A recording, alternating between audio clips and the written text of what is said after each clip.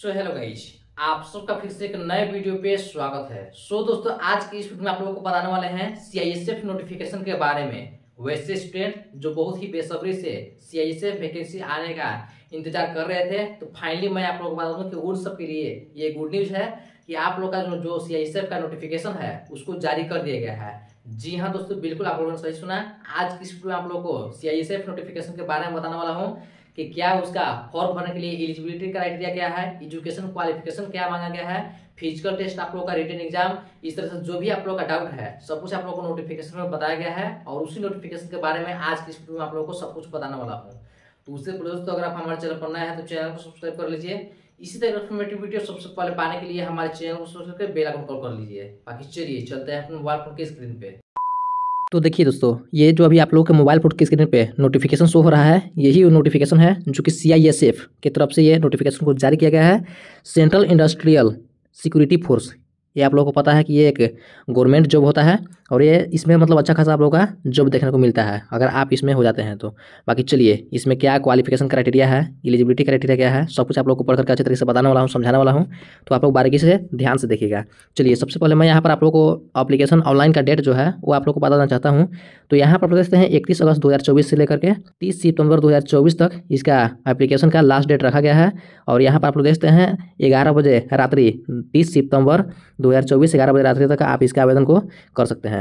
बाकी यहीं पर आप लोगों को बताया गया है कि ये आवेदन जो है, ये केवल मेल कैंडिडेट ये वुमेन के लिए नहीं है फीमेल के लिए नहीं है। केवल मेल कैंडिडेट इसको अप्लाई कर सकते हैं और वो भी आप लोग अगर इंडियन सिटीजन से हैं तो केवल इंडिया के ही लोग इसमें अप्लाई कर सकते हैं। बाकी यहाँ पर आप लोग देखते हैं पे लेवल थ्री है, जिसमें आप लोग का इक्कीस हज़ार सात सौ से लेकर के उनहत्तर हज़ार एक सौ रुपये का पेमेंट इसमें दिया जाता है। मतलब और आगे आप लोग को मैं बताऊँ तो यहाँ पर चलिए देखते हैं पेमेंट करने का जो एप्लीकेशन एक्सेप्ट है, ये ऑनलाइन मोड आप पेमेंट कर सकते हैं। बाकी और नीचे भी स्क्रॉल करते हैं तो यहाँ पर आप लोग देखते हैं, आप लोग का, मैं पहले ही बता दिया पे स्केल में पे लेवल थ्री है, जिसमें आप लोग का कितना पेमेंट मिलेगा। बाकी यहाँ पर नेशनलिटी में यहाँ पर बताया गया है कि candidate must be citizen India यानी आप लोग इंडिया से ही होना चाहिए। इंडिया के ही कैंडिडेट मेल कैंडिडेट इसको अप्लाई कर सकते हैं। बाकी वैकेंसी टाइप में यहाँ पर आप लोग देखिए। इंडिया के हर एक स्टेट का नाम यहाँ पर दिया हुआ है और स्टेज वाइज जो टोटल वैकेंसी का पोस्ट है, वो यहाँ पर बताया गया है। तो देखिए यहाँ पर सबसे पहले मैं यहाँ पर बता देना चाहता हूँ अंडमान निकोबार में। ज़ीरो पोस्ट निकल के आया हुआ है आंध्र प्रदेश में सत्ताईस है। इसी प्रकार से सभी स्टेट का यहाँ पर दिया गया है कि कितना है। यहाँ पर देखते हैं, झारखंड में भी मैं आप लोग को बता दूँ तो यहाँ पर उनतीस सीट है। सी के लिए। इसी प्रकार से दोस्तों यहाँ पर, जहाँ पे नक्सली एरिया को लेकर के, और उसके साथ जितने भी स्टेट है, सभी स्टेट का जितना भी पोस्ट निकला हुआ है, वो सब कुछ दिया हुआ है। टोटल मिला करके पूरे सी के लिए ग्यारह सौ तीस पोस्टों पर इसका बहाली है, उसको निकाली गई है। बाकी दोस्तों और आकर नीचे में देखें तो यहाँ पर देखिए एजुकेशन क्वालिफिकेशन में क्या बताया गया है कि the candidate must have passed twelve class और equivalent qualification from a recognised board university with science subject on और before closing date of receive of online application यानी कि दोस्तों, यहाँ पर बताया गया है कि आप लोग किसी भी बोर्ड से बारहवीं कक्षा पास होना चाहिए, जो कि आप लोग का साइंस सब्जेक्ट से। साइंस सब्जेक्ट से बारहवीं कक्षा पास होना चाहिए तो ही आप इसका फॉर्म को भर सकते हैं। एज लिमिट की बात करें तो यहाँ पर आप देखते हैं, आप लोग का अठारह वर्ष से लेकर के तेईस वर्ष का एज लिमिट बताया गया है।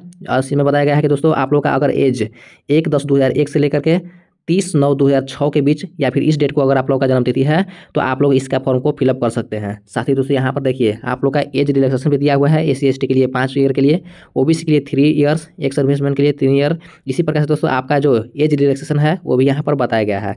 साथ ही नीचे स्कूल करें तो यहाँ पर और नीचे स्कूल करें तो देखिए दोस्तों, यहाँ पर दस नंबर में एप्लीकेशन फ़ी में आप लोग का सौ रुपये का पेमेंट लगने वाला है, जो कि एस सी से आते हैं या फिर एक्सेस बेस में है तो उन लोग का बिल्कुल फ्री है। और बाकी बाकी अदर कास्ट से आते हैं अदर कैटेगरी से हैं तो आप लोग का सौ रुपये का पेमेंट इसमें लगने वाला है, जो कि आप पेमेंट है, वो तीस सितंबर दो हज़ार चौबीस शाम ग्यारह बजे तक आप इसका पेमेंट को कर सकते हैं। रही बात दोस्तों, और नीचे स्क्रॉल करेंगे तो फ़िज़िकल इसका ज्वाइनिंग का क्या प्रक्रिया है, देखिए, यहाँ पर आप लोग देख सकते हैं, आप लोग का फ़िज़िकल इफिशियंसी टेस्ट यानी पी टी पी के लिए यहाँ पर बताया गया है कि कैंडिडेट हैव टू क्लियर पाँच किलोमीटर रनिंग इवेंट इन चौबीस मिनट्स। यानी कि दोस्तों, यहाँ पर आप लोगों को बताया गया है कि पाँच किलोमीटर का रनिंग होगा, जो कि आप लोग का चौबीस मिनट टाइम दिया जाएगा। चौबीस मिनट में पाँच किलोमीटर का आप लोग का रनिंग लगाना है। साथ ही दोस्तों, यहाँ पर हाइट और चेस्ट की बात करें तो यहाँ पर देखिए हाइट आप लोग का एक सौ सत्तर सेंटीमीटर मांगा गया है चेस्ट अस्सी सेंटीमीटर से पचासी सेंटीमीटर यानी कि पाँच सेंटीमीटर आप लोग का फुलाना है, और बाकी आप लोग का नॉर्मल जो चेस्ट होना चाहिए, वो अस्सी सेंटीमीटर आप लोग का चेस्ट मांगा गया है। साथ ही दोस्तों, यहाँ पर आप लोग देखिए रिलैक्सेशन फॉर इस एरिया से, यानी गरवाल और कुमाऊन हिमाचल प्रदेश, इस तरह इस तरह से इस एरिया से आते हैं। तो आप लोग का हाइट है एक सौ पैंसठ सेंटीमीटर है और अठहत्तर से तिरासी सेंटीमीटर आप लोग का चेस्ट मांगा गया है, जिसमें आप लोग का पाँच सेंटीमीटर फुलाना होगा। इसी प्रकार से दोस्तों आप लोग का फ़िज़िकल का प्रोसेस रहा। बाकी डॉक्यूमेंट वेरिफिकेशन क्या है, यहाँ पर इसमें बताया गया है। आगे रिटर्न एग्जामिनेशन की बात करें तो यहाँ पर देखिए, आप लोग का टोटल मिला करके सौ नंबर का एग्ज़ाम लिया जाएगा, जिसमें आप लोग का फ़र्स्ट पेपर में जनरल एबिलिटी टेस्ट यानी रीजनल रीजनिंग होगा, जिसमें आप लोग का पच्चीस नंबर का क्वेश्चन होगा और पच्चीस को ही क्वेश्चन रहेगा, जो कि आप लोग का ऑब्जेक्टिव टाइप क्वेश्चन रहेगा। यानी ऑप्शन वाला आप लोग का क्वेश्चन दिया जाएगा। पेपर बी में बात करें तो यहाँ पर जनरल नॉलेज रहेगा और साथ ही सी में बात करें तो यहाँ पर एलिमेंट्री मैट्रिक्स रहेगा, यानी कि मैथमेटिक्स रहेगा यहाँ पर। पच्चीस नंबर का ही और हिंदी और इंग्लिश यहाँ पर पार्ट डी में यहाँ पर पच्चीस नंबर का पूछा जाएगा। यानी टोटल मिलाकर के आप लोग का चार पेपर का एग्ज़ाम लिया जाएगा, जो कि यहाँ पर चारों पेपर का नाम बताया गया है। चारों पेपर का पच्चीस पच्चीस क्वेश्चन रहेगा और पच्चीसों नंबर का आप लोग का पच्चीस पच्चीस मार्क्स का भी पच्चीसों क्वेश्चन रहेगा। और बाकी टोटल मिलाकर के आप लोग का एक सौ बीस मिनट यानी टोटल मिलाकर के दो घंटा का आप लोग का टाइम दिया जाएगा। और ये आप लोग का सीबीटी टेस्ट होगा, यानी कि आप लोग का कंप्यूटर बेस्ड ये इसका एग्ज़ाम लिया जाएगा। और ये आप लोग का ओ की तरह रहेगा, यानी आप लोग का ऑब्जेक्टिव टाइप कंप्यूटर पे जो होता है कंप्यूटर बेस्ड टेस्ट उस पर आप लोग का सीबीटी के माध्यम से लिया जाएगा।